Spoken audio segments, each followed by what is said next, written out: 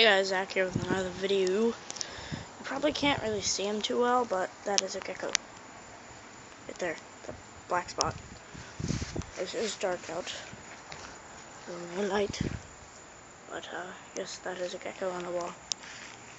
There were two, one ran up. He's in the corner if you can, no you can't. But, uh, yeah, these are house geckos. These are house geckos. Yeah. Oh wait, no, that's an anole. Huh, I saw like 20 other. That's a house gecko up there. You can see it, but that's an anole. I did not know that. I just got really close.